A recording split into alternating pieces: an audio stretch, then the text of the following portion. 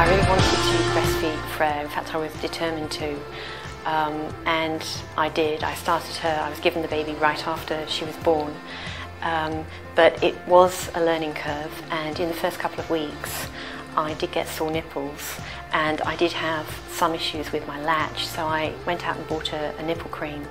And I also called the NCT breastfeeding helpline, and that was really useful in terms of talking to somebody and helping to understand what I was doing wrong. I also looked at pictures, and that helped me with the latch too. Um, and now she's she's feeding almost like a dream. So um, it's been worth it.